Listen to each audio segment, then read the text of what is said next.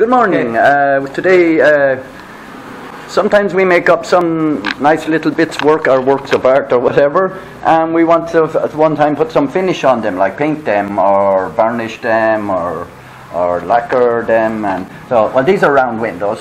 You know, I've made round windows before, but these are actually for my house. Uh, now, we want to paint them. You want to keep them up off the thing so you can paint both sides at one time. And there comes the problem. Some people say, oh, I'm going to put a stick in underneath them like this. But if they're wet on the other side and uh, this, that, that's going to uh, damage the paintwork.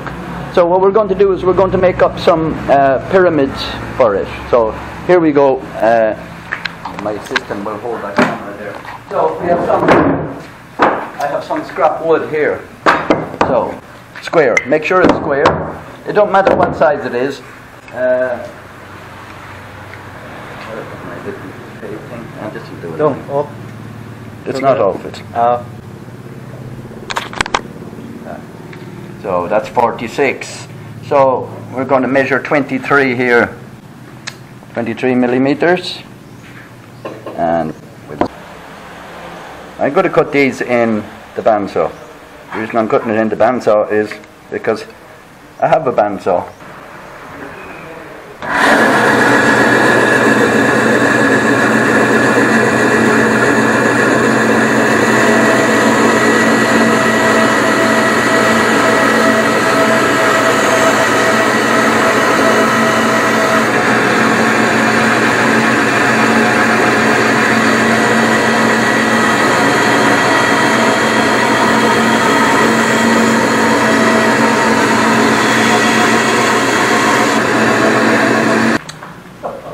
My videos are all live, so if something goes wrong, it goes wrong.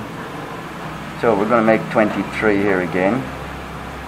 And what we're going to do is join that one to that one.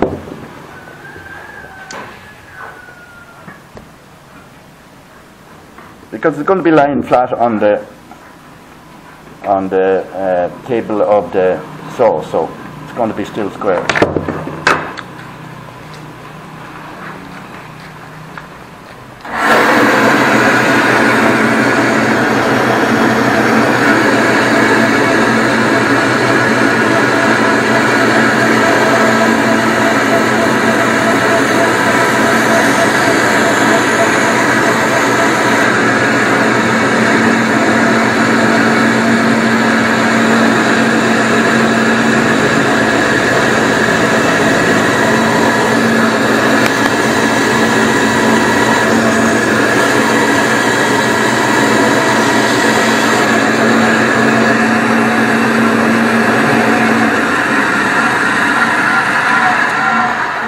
So there we have our pyramid. So if we're going to leave them all the same size, we don't need them up that high off it. Uh, we want the stir up off it. So I'm going to make them maybe like um, I'll leave them 25, which is about one inch, and I'll square that.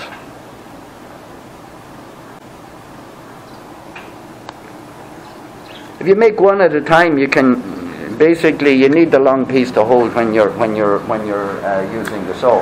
So after I cut this one, then I can make the next one, the next one, the next one. So I don't have to use a second piece. That's to save wood. So you're actually only using altogether mm, maybe maybe less than less than two inches anyway of wood. 50, 45 millimeters.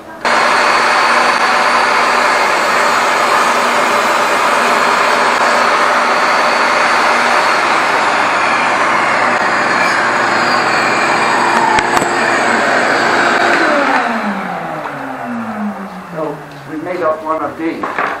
Now, you don't want to continue with the video. We're going to make four of these. So the wood stands up on these, and there's only a very, very fine point here that's actually touching the wood. And it's wood, it's soft as well. It's not going to make a dent in it.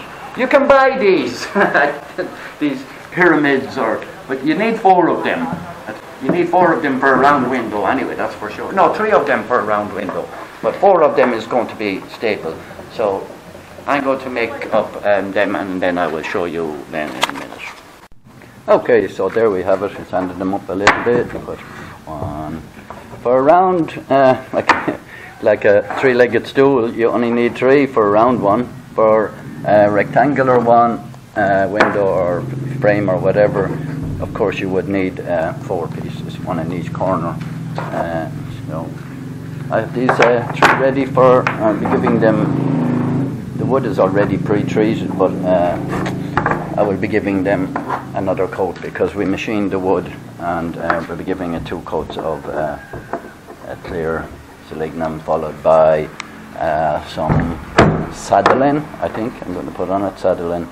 Uh, I've got Sadolin for So that's it, much easier to paint. You have this side painted, you turn it over and uh, thank you, very small, very short, very simple. So that's it then, uh, that's uh, simple uh, pyramids, painter's pyramids. I think that might be the name of them, but you can buy them anyway, I think. But you can't buy them here. Uh, but why would you buy them when you can make them in a couple of minutes?